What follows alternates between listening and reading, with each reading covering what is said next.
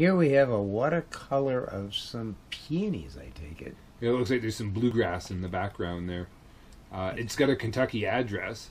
And August 24th, year's kind of missing. Says, Hi, sorry I missed you.